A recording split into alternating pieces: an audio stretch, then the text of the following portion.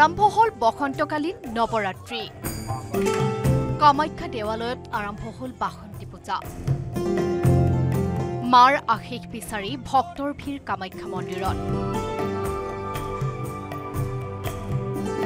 সোমবাৰৰ পৰা আৰম্ভ হ'ল বসন্তকালৰ নৱৰাত্ৰি তথা মা কামাখ্যা দেৱালয়ৰ বাসন্তী পূজা। বহিৰাজ্যৰ ভক্তই আশীষ বিচাৰি কৰিছেহি ভিৰ।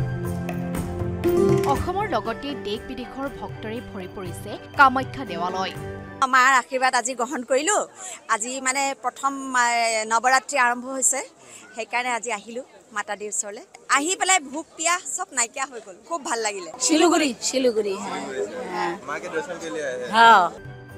পৰম্পৰাগত ৰীতি নীতি অনুসৰি মা কামাখ্যাৰ পূজা অৰ্চনা কৰা হ'ব বুলি মন্তব্য কামাখ্যাৰ পূজাৰীৰ। বহু ভক্ত ইয়াতে ভক্তবান ৰাইজ একগোট হৈছে।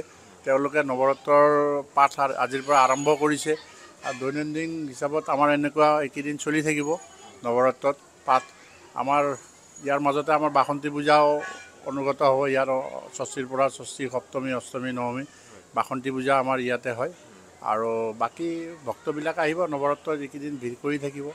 আহি পেলাই পাঠ পূজা কৰি থাকিব তেওঁলোকৰ নৱৰাত্ৰৰ নদিনে ইয়াৰোপৰি কামাখ্যাত হ'ব অন্যান্য অনুষ্ঠানো। উল্লেখযোগ্য যে কেৱল অম্বুবাচী নহয় বাসন্তী পূজাৰ এই দিনকেইটাতো দেখিবলৈ পোৱা যায় ভক্তৰ ভিৰ।